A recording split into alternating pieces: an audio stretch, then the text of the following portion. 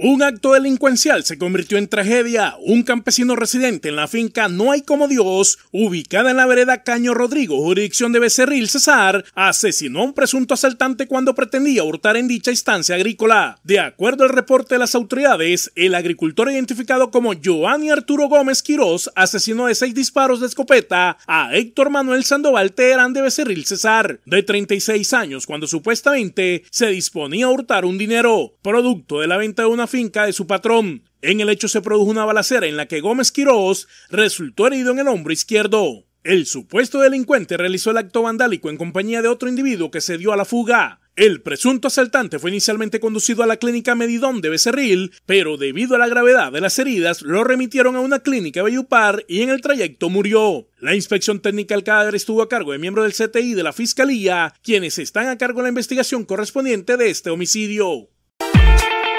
Donato, servicio de domicilio y mensajería. Lo hacemos por ti.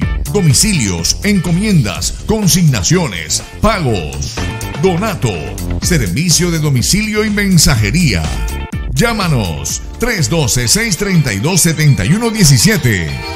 Donato, servicio de domicilio y mensajería. 312-632-7117.